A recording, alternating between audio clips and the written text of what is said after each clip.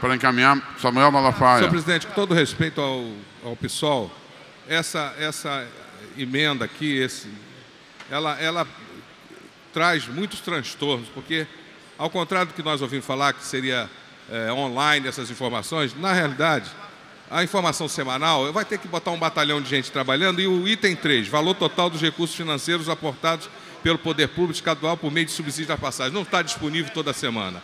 O item o item 6, valor total dos recursos financeiros arrecadados através de aluguéis de espaço e implantação de materiais publicitários na sociedade. Isso também não está online, eu trabalhei na CODERT, isso é uma dificuldade, tem gente que cancela o contrato, outros não pagam. Então, mensalmente, se ainda fosse é, é, semanalmente, tá, não dá. Se fosse mensal e sem esses itens, ainda podíamos aprovar. Então, ó, o DEM vota contra.